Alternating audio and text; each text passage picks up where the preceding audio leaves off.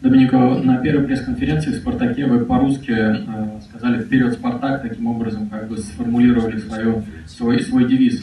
Могли бы вы сейчас на русском сформулировать какой-то девиз на оставшуюся часть сезона, на матче в чемпионате России, в Кубке России?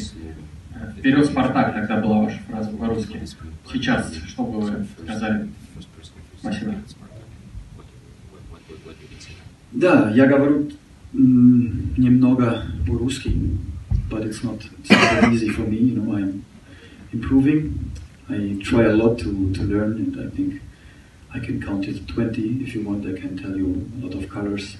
But uh, the slogan uh, that I used in the, in the first press conference, uh, Period Spartak, for me is still the most important. You know, that's the reason why I don't want to change this the slogan, but I improved my, my Russian.